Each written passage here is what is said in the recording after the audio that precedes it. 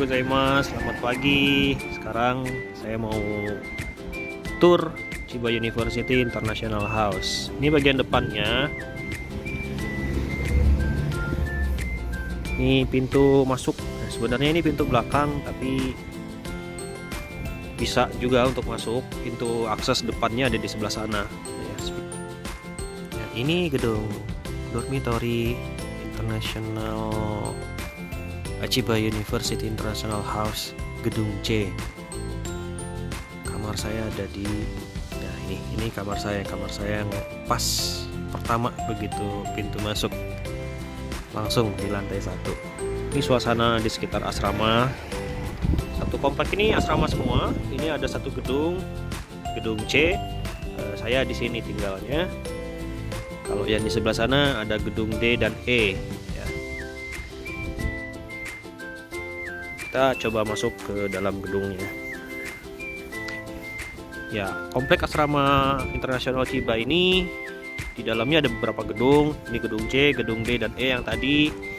Lalu di sana eh, di sana itu ada asrama juga tapi dikhususkan untuk mahasiswa Jepang biasanya. Kalau yang ini gedung C gedung C ini dikhususkan untuk peneliti researcher internasional jadi kalau kamu jadi mahasiswa Ciba internasional kemungkinan akan ditinggal di sana. Jadi tinggalnya di sana. Kalau yang researcher di sini.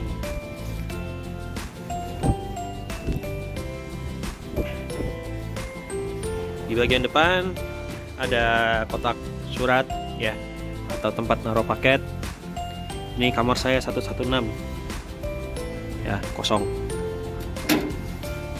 Nah, untuk masuk ini hanya orang-orang tertentu saja yang punya akses karena harus pakai kartu akses begini. Kita oops. Oke.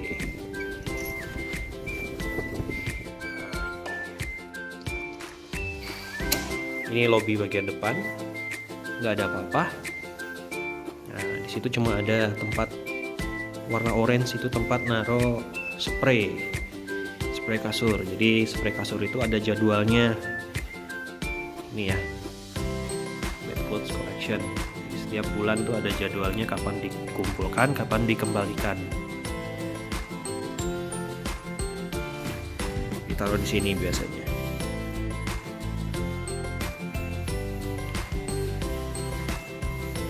Ini lobbynya kosong nggak ada apa-apa kursi juga nggak ada. Nah yang ada kursinya itu di ruang bersama di atas di lantai dua.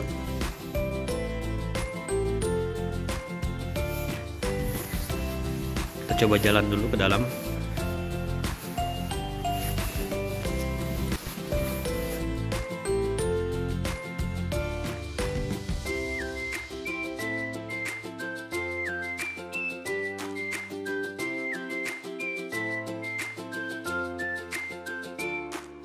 ada fasilitas tempat cuci laundry.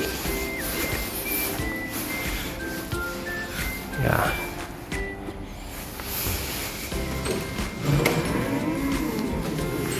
Nah, di sini tempat laundry.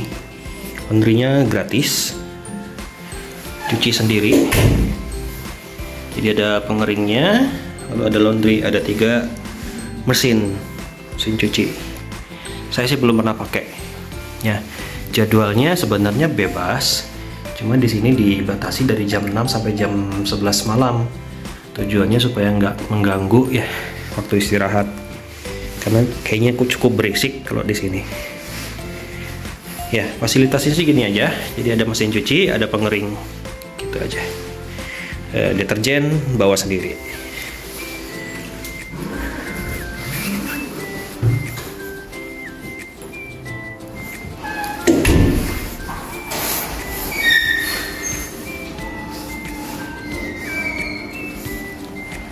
dan ini ruang bersamanya di ruang bersama ini ada empat kursi sofa panjang biasa untuk ngumpul-ngumpul oke sekarang kita ke kamar saya Nah, sekarang kita coba masuk kamar. Ini kamar saya, kamar C116. Posisi kamar saya pas ada di dekat pintu masuk. Jadi begitu masuk, langsung ketemu kamar saya. Kita coba masuk ya.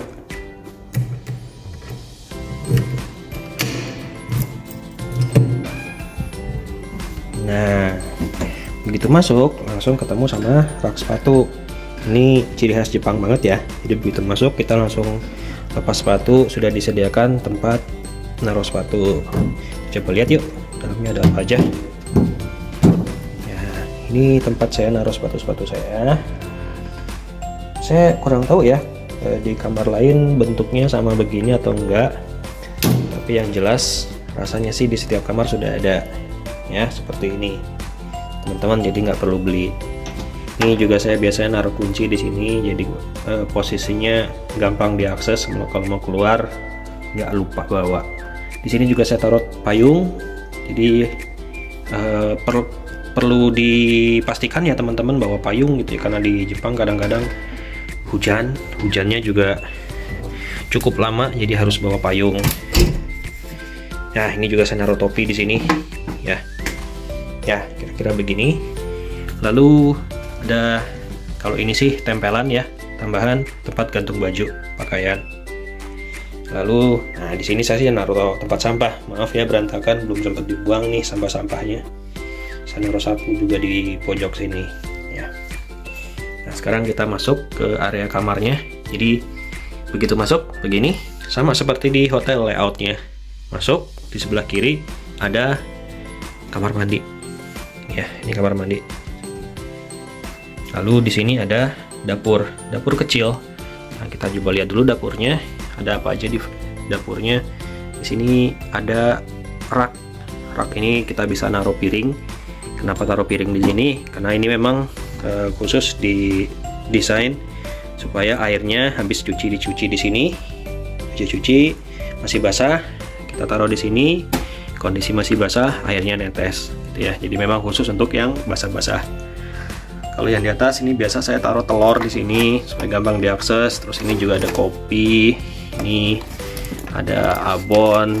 Ya maaf ya kondisinya berantakan. Ya di atas. Nah ini saya taruh biasanya plastik sampah. Terus di sini eh, ada sunlight juga nih saya bawa dari Indonesia. Ya yang di atas ini barang-barang yang uh, tidak setiap hari dipakai gitu ya. Terus di sini, nah ini piring-piring kan supaya gampang diakses dan supaya pas basah juga gampang netes ya saya taruh di sini piring-piring ya piring-piring nah ini tidak disediakan di kamar jadi teman-teman harus beli sendiri piring terus panci mangkok begitu ya. Peralatan-peralatan makan tidak disediakan. Oke ini nah ini saya kurang tahu ini dulunya apa. Ada dua baut begitu nempel cuma jadinya saya pakai untuk naro ini apa uh, tempat penggorengan tempat ngeringin gorengan lah gitu ya. Nah ini tempat cuci piringnya. Ada wastafelnya. Kita cuci piring di sini. Nah disediakan air panas dan juga air dingin gitu. nah yang lain-lain ini sabun cuci piring yang kita sediakan sendiri ya spons juga kita beli sendiri lalu bumbu-bumbu saya taruh di sini biasanya ini juga ada cutting board tempat motong-motong sayur, bawang, bumbu di sinilah. Dan nah ini yang penting, ini ada kompor listrik ya. Jadi sudah disediakan kompor listrik. Kita nggak boleh bawa kompor sendiri, kompor gas gitu nggak boleh. Jadi kita cuma bisa pakai yang sudah ada kompor listrik aja gitu. Nah di sini ya cukup lah kalau mau masak-masak gitu ya goreng-goreng, numis-numis bisa uh, biayanya ya biayanya dibebankan ke penghuni. Jadi ada biaya untuk gas tiap bulan yaitu dibebankan uh, sesuai dengan penggunaannya gitu. Ya oke di sini saya biasa naruh bumbu-bumbu kecap sambal lalu ada minyak goreng di situ. Lalu oke ini abaikan ya. Nah ini rice cooker. Rice cooker juga tidak disediakan di sini. Jadi kita harus sediakan sendiri beli sendiri. Nah ini rice cooker kecil. Ya isinya eh, cukup untuk dua cup beras biasanya dua cup itu udah penuh banget ini isinya nanti kalau udah matangnya. Jadi saya biasanya masaknya satu setengah cukup kok. Satu setengah itu untuk bisa 2 sampai tiga kali makan ya. Jadi untuk sendiri cukup ya. Kalau untuk keluarga ya mungkin kurang ya. Jadi kalau untuk sendiri ini bisa. Keluarga silahkan beli yang lebih besar lagi. Ya ini colokan listrik sudah disediakan di sini. Jadi langsung colok. Nah eh, untuk masak nasi gitu ya. Kalau kompor nggak perlu dicolok-colok lagi tinggal nyalain. Nyalain saya biasanya supaya lebih cepat saya uh, pilih yang maksimum di sini. Diputar sampai habis jadi panasnya lebih cepat biasa kalau goreng-goreng kayak gitu. Oke ini ya ini peralatan-peralatan masak kita sediakan sendiri ya. Beli sendiri nggak disediakan di sini. Lalu nah di bawahnya ini ada semacam tempat penyimpanan storage. Kita coba buka yuk. Nah ini lihat. Ya di sini saya naruh bumbu-bumbu tambahan yang uh, sifatnya bubuk. Ya begini bumbu-bumbu instan ini saya taruh di sini. Kalau di atas semua nggak cukup tempatnya. Jadi saya manfaatkan storage yang ada di bawah. Ini juga ada bawang lalu ada stok uh, tisu dan juga lap. Ya ini lap pembersih. Oke lalu ada kulkas di sampingnya. Ini kulkas kulkas ini kita coba buka yuk. Kulkasnya kulkas kecil. Uh, jadi cukup untuk menyimpan daging eh, sayur-sayur. Ini saya simpan di sini. Freezernya kecil sebenarnya dia ada di sana kecil. Jadi kalau teman-teman mau nyimpan sesuatu yang harus beku ya daging misalnya pastikan cukup karena freezernya kecil. Dan ini cepat banget dia uh, muncul saljunya. Ini harus di uh, apa namanya dihilangkan dulu nih saljunya dibuang. Cuma saya belum sempat. Ya di sini saya taruh sayur-sayur terus minuman. Ya bumbu-bumbu juga beberapa ada saya taruh di sini. Ya kecil kulkasnya. Jadi harus uh, diperhatikan tuh kalau mau beli barang-barang atau sayur-sayur daging jangan terlalu banyak ya.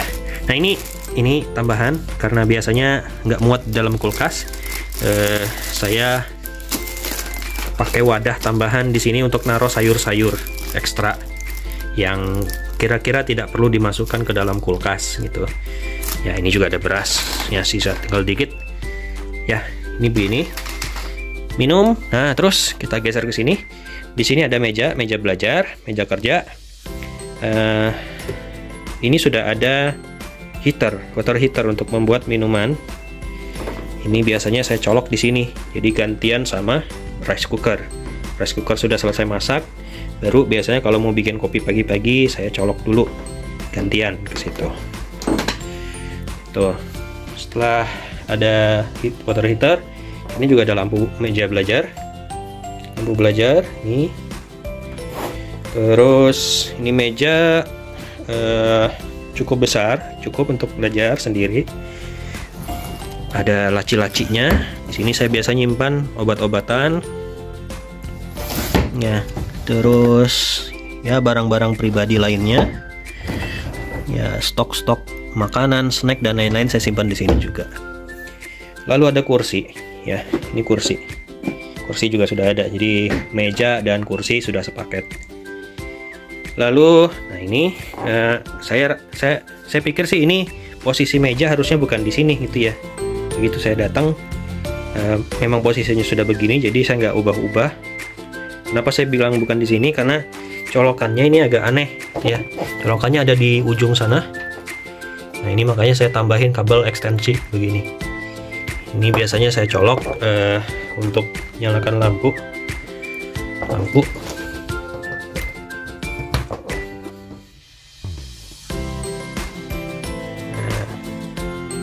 nyalakan lampu di situ. Terus juga kalau saya mau ngecas laptop ya ini harus pakai adapter adapter dari kita. Ya teman-teman kalau mau ke Jepang jangan lupa ya bawa adapter seperti ini. Karena ya beda ya dengan yang di kita. Jadi ya harus menyesuaikan. Ya, ini murah kok. Murah. Cuma berapa? 4 400 yen kalau tidak salah. Ya bisa beli yang seperti ini. Atau boleh bawa dari Indonesia juga. Oke, nah kemudian di sini ada lemari pakaian, ya, yang di atas abaikan itu kardus tempat rice cooker saya. Ini lemari pakaian, kita bisa taruh pakaian kita di sini. Ada beberapa tingkat, ya. Ini saya bawa uh, setrika, bukan dari sini ya, setrika ya, setrika kita bawa sendiri, tidak disediakan. Lalu ini pakaian-pakaian, silakan disusun sendiri, ya di bagian bawah sini ini ada uh, sheet ya. Uh, apa ya? Spray lah gitu ya spray yang bisa kita pakai. Di awal sudah disediakan dua lembar sheet untuk setiap kamar. Jadi kita bisa gantian pakai karena sudah ada jadwal tadi ya yang saya tunjukkan di bagian depan. Jadwal cuci. Spray. Oke nah ini ada uh, lemari dengan cermin gitu ya Nah ini saya taruh pakaian-pakaian saya di sini jaket-jaket juga. Gitu. Dan berikutnya ini kasurnya. Kasurnya disediakan begini. Satu single bed. Single bed. Sudah ada uh, spraynya. Spray ala Jepang. Semua saya nggak tahu ya ini cara pasangnya benar atau enggak ya abaikan kalau memang salah. Sejauh ini sih saya nyaman pakainya gitu. Kasurnya cukup nyaman ya. Cukup nyaman untuk ukuran kamar asrama. Kalau dibandingkan dengan hotel ya beda ya. Cuma ini cukup kok cukup nyaman. Lalu bantal ini bantal eh, saya kurang tahu apakah ini untuk di setiap kamar sama fasilitasnya bantalnya. Cuma bantalnya kalau menurut saya sih kurang nyaman. Kenapa kurang nyaman? Karena bantal ini eh, keras. Terus kalau kalau kita biasa pakai dakron atau busa atau kapuk biasanya. Nah ini dalamnya itu e, butiran. Saya nggak tahu namanya apa ya. Butiran gitu jadi kurang empuk lah. Kalau teman-teman suka yang empuk ya silakan cari sendiri beli sendiri. Kalau saya saya lebih suka pakai yang ada aja. Jadi saya nggak ganti bantalnya. Lalu ada selimut. Nah selimut ini cukup menolong ya teman-teman. Ini pahlawan kita kalau musim dingin. Ya jadi musim dingin itu kadang suhunya bisa di bawah 10 derajat itu dingin lumayan dingin bagi kita orang tropis. Jadi selimut ini cukup menolong untuk kita hangat pada saat kita tidur. Ya. Ya di sini di pojokan saya taruh koper. Ini abaikan ya teman-teman ini pakaian kotor. Abaikan saja. Terus ada AC ya. Ini AC uh, eh, remote AC AC nya ini dia. Jadi selain dingin juga karena di Jepang ada musim dingin biasanya ya jadi kita bisa set jadi penghangat juga. Itu ya. Oke. Terus kita coba lihat bagian luar. Ini seperti ini. Jadi ada sudah ada gordennya. Ini teman-teman tidak perlu beli sendiri sudah ada. Lalu nah ini bagian luarnya. Kita bisa buka. Jadi aksesnya kita bisa buka Nah ini kamar saya posisinya pas di lantai satu, jadi kelihatan langsung bagian depan itu tadi tempat kita masuk. Nah di sini biasanya saya naruh jemuran, jadi jemur-jemur pakaian di sini sudah disediakan uh, ini fasilitas dari asrama berupa tempat naruh jemuran ya. Begini aja sih bentuknya. Kalau tiang ini eh apa namanya batang ini ini ini uh, rasanya bukan dari sini. Ini kita sediakan sendiri ya. Ini kebetulan saya dapat dari tetangga sebelah kemarin yang pulang. Dia dari Cina pulang. Dan ini dikasih ke saya. Mungkin dia juga dapat dari uh, penghuni sebelumnya gitu. Nah terus itu ada batang kayu. Batang kayu ini sebenarnya tambahan. Ini saya ambil sendiri ya uh, hanger pakaian ini juga dari kita sendiri tidak disediakan di sini. Ini batang kayu saya ambil dari kebun di sebelah situ. Ada taman kecil lalu ada batang-batangnya saya ambil aja. Ya. Ini ember biasa saya pakai untuk nyuci-nyuci ya. Jadi ini balkon posisinya langsung begini ya. Kita bisa jemur-jemur di sini uh, dan langsung menghadap ke timur rasanya di sana ya. Ya timur jadi jemur pagi harusnya siang-siang sih udah kering. Nah, terus di sini biasanya di Jepang itu sudah ada uh, beberapa layer nih jendelanya. Jadi kalau malam-malam kita pengen ada angin masuk tapi nggak mau nyamuk masuk nah ini ada layer jaring-jaring nyamuk. Nah, anti nyamuk nih nyamuk nggak akan bisa masuk. Ya, jangan dikira di Jepang nggak ada nyamuk ya tetap ada nyamuk apalagi di asrama Chiba ini pas di sana itu uh, area kosong gitu ya. Itu ada kebun-kebun dikit. Biasanya ada nyamuk. Malam-malam tuh sering saya lihat ada nyamuk. Kita bisa tutup ini. Angin tetap masuk tapi nyamuk nggak masuk. Ya. Oke. Kita coba lihat kamar mandinya ya. Oke, ini kamar mandinya. Di sini ada saklar untuk lampu kamar mandi. Lalu ada uh, apa ya? Timer untuk menyalakan uh, penghisap gitu ya, penghisap udara. Coba masuk. Oke, ini kamar mandinya seperti ini. Sama seperti di hotel Jepang pada umumnya, compact dan pasti ada saya kurang tahu apa sih namanya ini ya ini khas Jepang jadi tempat mandinya itu kayak bak tapi ini bukan bukan bathtub ya bathtub kalau bathtub kan ada sandarannya. Kalau ini cuma seperti bak biasa. Tapi bukan untuk diisi air juga. Ya kita cuma mandi aja di sini gitu. Pakai shower. Itu showernya dari situ. Ya shower ada. Terus di sini juga ada wastafel. Ya wastafel ini bisa air panas juga. Jadi jangan khawatir kedinginan kalau pas lagi musim dingin. di sini saya bisa naruh sabun-sabun eh, pasta gigi sampo gitu ya. Lalu peralatan-peralatan mandi lainnya ya. Dan ini toiletnya seperti ini. Toiletnya uh, jangan berharap seperti yang ada di hotel ya teman-teman ya. Di hotel Jepang kalau di hotel Jepang kan modelnya tombol gitu. Kalau di sini enggak ya. Ya bahkan kalau kita mau cebok juga nggak ada eh, seperti di toilet Jepang pada umumnya ya ya dia langsung ada showernya di dari dalam gitu.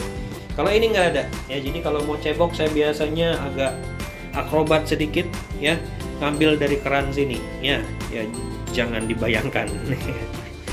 Lalu di sini nah ini ini ini apa namanya flashnya ya mau flash yang kecil atau yang besar di sini ada ya. Dan nah ini yang tidak pernah saya isi tisu toilet ya saya nggak suka pakai tisu toilet sebenarnya jadi lebih suka langsung pakai air. Jadi makanya ini saya kosongin. Oke nah tadi sempat ada yang lupa. Ini di dapur dapur mini ini ada eh, nah kelihatan ya? Ada lampunya. Kemudian ada tombol satu lagi. Tombol satu lagi ini untuk menyalakan ini blower ini. Ya. Jadi menghisap uh, apa sih istilahnya ya? Saya nggak tahu. Silahkan kasih tahu kalau teman-teman tahu ya. Kalau pada saat kita goreng kadang-kadang kan uh, hawa panasnya itu loh. Hawa panasnya itu supaya nggak berkumpul di kamar. Karena ini ya tempat tidur kita juga. Kalau kita masak di sini kalau ada asap kan kurang nyaman kalau tidur. Jadi ini hawa-hawa panasnya bisa dihisap ke sana. Ya oke. Lalu nah ini lampu. Lampu lampu ini. Ya bisa beberapa mode. Ini paling terang. Ini yang lebih redup. Lalu ini mode tidur. Ya ini ada beberapa mode. Oke segitu aja dulu kali ya. Tour dormitory Chiba University International House. Semoga video ini bermanfaat untuk teman-teman yang mungkin akan kuliah di sini, teman-teman yang akan tinggal di asrama Chiba University International House. Sampai jumpa.